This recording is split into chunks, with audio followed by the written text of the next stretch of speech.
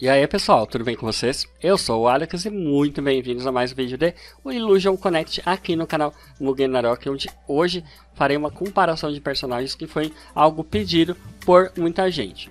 Pessoal, então é muito importante que vocês ajudem aqui o canal, deixa curtida, é muito importante. Além disso, se não for inscrito, inscreva-se, ativa o sininho e vamos lá. E se tu já é inscrito, ativa o sininho e deixa a curtida, beleza? Vamos lá. Então a comparação aqui são as personagens Ana que é a principal suporte do jogo, e também a Ming, beleza? Eu explicarei as habilidades das duas, eu explicarei por que ou por que não summonar, porque sim ou por que não, tá bom? Aí vocês realmente decidam é, o porquê ou por que não. A primeira coisa que eu tenho para falar sobre as duas é que muita gente está levando em consideração apenas a quantidade é, necessária para summoná-la. A Ana pede 18 né, pontos lá para ser summonada e a Ming 16, tá bom?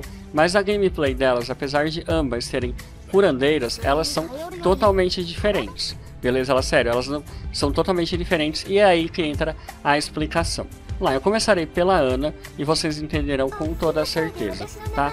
Como eu falei, ela pede 18, a Ming 16 e vamos lá. Primeiro aqui a passiva, que é o que faz a personagem roubada. Sempre a passiva e a habilidade única, tá bom? A habilidade normal e especial são só simples. Vamos lá. Quando a Ana estiver presente é, no grupo, todos os parceiros do grupo recebem a taxa de aumento do dano em 16% e meio. Lembrando que a minha está aumentada porque eu tenho mais nível nela, tá bom? Requisito de ativação. Olha só, na habilidade de elenco, uma outra habilidade. Se ela tiver pelo menos 5 parceiros de classes diferentes no grupo, além dela, claro, é, concede a ela e aos parceiros 10% de aumento de dano e 10% de resistência a dano, ou seja, recebe menos dano. Vocês entenderam aqui então que o que? A Ana é uma personagem ofensiva, tá bom? Então ela está no grupo aumentando o ataque do grupo e é isso. A habilidade única dela, ela canta e recupera 330% do ataque em HP para o grupo e também aumentar a própria raiva em 300. Novamente, ó, raiva significa grupo ofensivo. Tá bom? O ataque básico dela, 100% do ataque em cura para o aliado que tiver a menor vida naquele momento. E o ataque especial é com o sorriso da Ana. Ela ataca o inimigo e causa 180% de dano, lembrando 15% para reativar a habilidade. Então perceberam que ela é uma personagem ofensiva. A Ming, ela é o contrário. Vamos lá, passiva, o alívio. Quando a Ming estiver no grupo, a cada ação de um aliado, esse aliado que agiu, no caso, naquele momento, recupera 10% da vida máxima a cada ataque. Ou seja, digamos que é um personagem bem rápido que atacou ali três vezes, como acontece muito com a Miyuki, com a Fenebet. Um, então elas acabam recuperando mais vida, tá bom? Aí um outro detalhe é assim: Toda vez que a estiver no grupo com guardiões, eles receberão a cura dobrada, tá bom? Então os guardiões recebem cura dobrada. Isso aqui é muito útil. Ou seja, perceberam? É, recupera e recupera. Aí a habilidade única dela, que é o ponto alto, restaura é, os pontos de vida dos aliados, equivalente a 220% do ataque dela. Lembrando que ela está inferior a Ana em nível, a Ana está 4 e essa daqui está 3, por isso está menor, tá bom?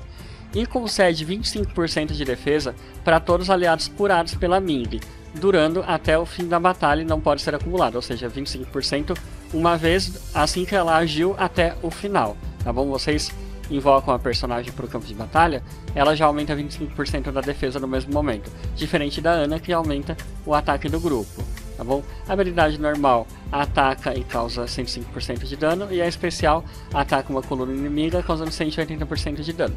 Vamos lá. Então, em resumo, a Ana é ofensiva, a Ming é defensiva. Defesa, melhora guardião, cura contínua para todos os membros do grupo.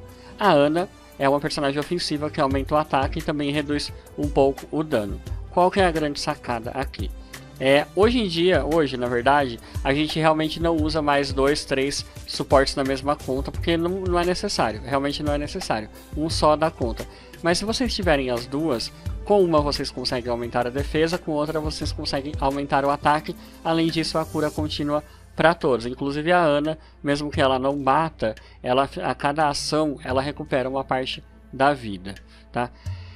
Pegar ou não pegar a Ming? Aí vem o grande detalhe. Então, vamos lá. Primeiro, a Ming não é bait, tá? Muita gente está chamando de bait. Até eu mesmo peguei no garantido, foram 70 summons. Antes veio um Barinas. Imagina a minha tristeza, né? Mas tudo bem. O que acontece é que dá para melhorar lá no corredor das ilusões. A Ana, ela é muito melhor que a Ming pela facilidade de ser conseguida. Por quê? Citando aqui a Hashi Shiki, por exemplo, que é uma personagem exclusiva aqui da Fortuna.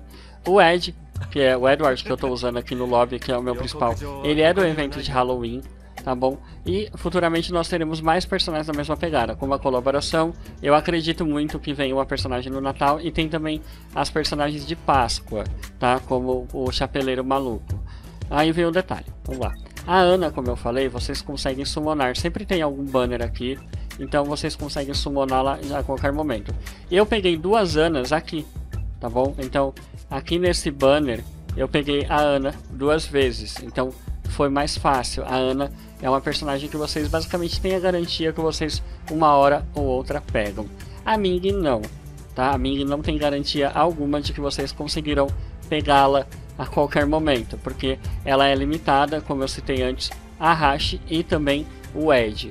Tá? Então, se vocês quiserem, lembre-se que provavelmente se vocês pegarem apenas uma, vocês precisarão melhorá-la aqui na na Arcana, perdão, aí eu lerdo.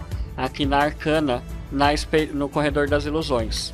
Tá? Vocês precisarão melhorá-la aqui porque vocês vão lá, aumentam o nível dela e vão pegando então os fragmentos do herói que é o que justamente estou fazendo com outros personagens aqui, ó. Só para que vocês tenham ideia. Vamos lá. Aqui, ó. Então aqui, ó, o Camille, eu já estou terminando de pegar justamente lá. A Rotânia, que é um dos meus sonhos, eu não tenho. Eu estou terminando justamente por lá e assim consecutivamente, tá bom? Então é o jeito que vocês precisarão melhorar a personagem. Tá, mas e aí, qual que é boa afinal na prática? Gente, as duas são boas, tá bom? A real é que as duas são excelentes, cada uma do seu modo. Uh, eu uso as duas juntas aqui, ó. Eu estou inclusive usando as duas juntas no grupo, porque eu tenho bastante personagem ofensivo. O que altera realmente é o nível da personagem. Além, claro, aí do que eu falei, uma aumenta o ataque e outra aumenta a defesa. Quando vocês juntarem as duas, o que não é necessário de fato, vocês terão um grupo extremamente forte, tá bom? Porque justamente uma estará sempre melhorando o ataque, outra a defesa, uma da cura contínua, a outra aumenta o ataque com a outra habilidade. Vocês vão combando isso e vocês têm um absurdo. A única parte que eu acho que é muito mais positiva na Ming comparado com justamente aí a Ana, olha aí, ó, 48, 50 mil de vida, de verdade eu acho que fica na questão da quantidade necessária para usá-la. 16 para 18 realmente não é muito, mas uh, faz um pouquinho de diferença na hora que a gente está invocando os heróis, tá gente? Vamos lá, aqui ó, puxei. Ela não, a Ming não apareceu. E terminou. Eu farei mais umas duas ou três missões, que aí vocês conseguem ver. Ó, a Ana, como ela está uma estrela a mais, logo ela está mais forte, logo a cura dela também é maior. Então eu consegui Aí, hum, deixa eu ver, eu acho que uns 20 mil a mais de cura, se bobear. Ela curou 48, 50 mil, né?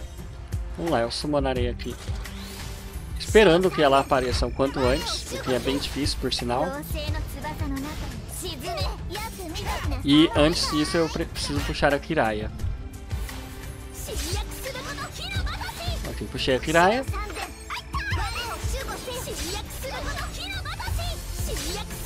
Ok. Ó, tá vendo? A Ana, ela demora muito pra, pra chegar a vez dela. Puxei aqui, espero não matar meu grupo.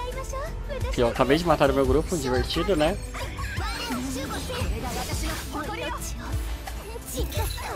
Se ela curar, ela mata meu grupo. Aí vem um detalhezinho. Eu, não, eu uso aqui o líder na classe guardião. Então a Ming, nesse sentido, ela melhora o meu líder também. Vejam só. Realmente a Kiraya morra por minha causa, tá? Mas finge que não viu isso. Olha lá. Olha lá, eu matei meu grupo, gente. Inclusive o líder, agora tentando mostrar uma habilidade, mas tudo bem. Ninguém viu isso. Quando vocês virem que seu personagem está com essas bolinhas roxas, que são os venenos, de verdade não, não usem o curandeiro, tá bom? Eu refarei essa daqui para que vocês vejam, até porque foi vergonhoso. Nesse grupo aqui, na real, eu nem precisaria, talvez, puxar o meu tanker. Perdão, o meu curandeiro. Mas eu puxarei, ó. Agora é a Ming. A Ming ó, é bem mais rapidinho para invocar. E ela me melhora a Kiraya.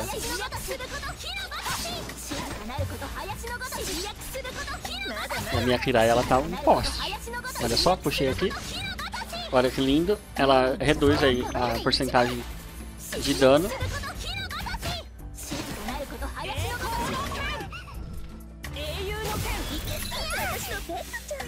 Vamos lá. Olha só.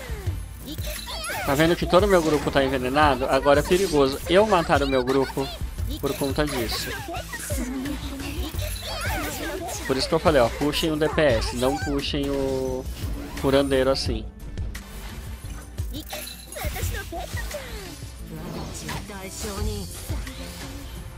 O meu líder não está envenenado agora, então agora tá suave, a Ming pode passar a curar, ó. E ela terminou ali. Vocês repararam que assim, a ação dos personagens fez com que eles curassem o HP. E nesse caso, eles não receberam o dano pela ação, tá bom? Eles, é, eles perdem o HP pela cura direta, tipo a Ana. A Ana ela mata meu grupo às vezes. Vamos lá. Ó, o grupo todo está envenenado já, só porque eu puxei a minha Fenebet, facilitando minha vida. Fenebet é muito excelente para isso aqui, gente.